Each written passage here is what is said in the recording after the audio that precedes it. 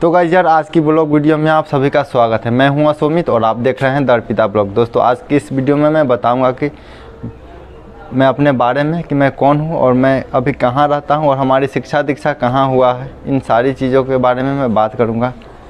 सो मैं पहले बार मैं अपना नाम से शुरू करता हूँ कि मेरा नाम अश्वमित है और मैं बिहार मुजफ्फरपुर का रहने वाला हूँ और मैं एक स्टूडेंट था बट अभी पैसों के अभाव में मैं एक जॉब पकड़ा हूँ फ़िलहाल। मतलब 2020 में ही जॉब पकड़ा मैं। उसके बाद से मैं 2021 22 से मैं ब्लॉगिंग स्टार्ट किया। उससे पहले से भी मैं यूट्यूब पे काम वगैरह करता ही था बट उतने अच्छे से नहीं करता था क्योंकि उसके बारे में मैं बोल भी नहीं पाता था। फ़िलहाल मैं आज जो बोल रहा हूँ ये बहुत समय के बाद में इतना हमारे अंदर ये स्किल डेवलप हुई है।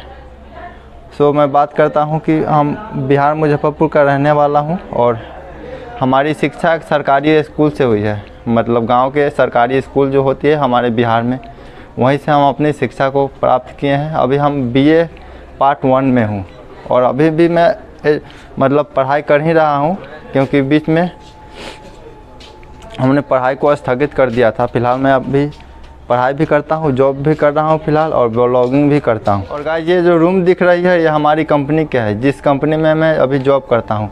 और ये कंपनी एक वेफर प्लांट है, जहाँ पे वेफर बिस्किट बनती है और मंच मंच जैसा जो चॉकलेट होता है, उस प्रकार का ही हमारा अभी प्रोडक्ट हाल में ही लॉन्च होने वाला है मार्केट में। फ़िलहाल अभी मशीन वगैरह, नई मशीन आई है हमारी कंपनी में।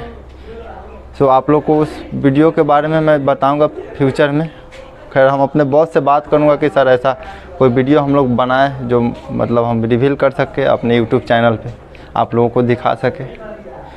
तो ये तो हो गया हमारी कंपनी का बात। और अभी हम वेस्ट बंगाल में हूँ गाइज़ क्योंकि वेस्ट बंगाल में ही, ही जॉब करता हूँ मैं और मैं बिहार का रहने वाला हूँ। गाइज़ जब मैं बचपन में पढ़ता था जब टेंथ क्लास में मैं था तो मतलब पढ़ाई क्या होता है शिक्षा क्या होता है इसके बारे में हमें मतलब कुछ भी नॉलेज नहीं था। जब मैं बाहर निकला पैसों को कमाना शुरू किया कि पैसे कैसे कमाया जाता है। उसके बाद ये सब समझ आया कि पढ़ाई एजुकेशन बहुत ज़रूरी है हमारे लाइफ में। सो so, मैं टेंथ तो एक बार मैं फेल किया उसके बाद फिर दूसरे बार एग्ज़ाम देकर पास किया उसके बाद इंटर किया। पटना में जॉब करते करते ही इंटर में किया हूँ।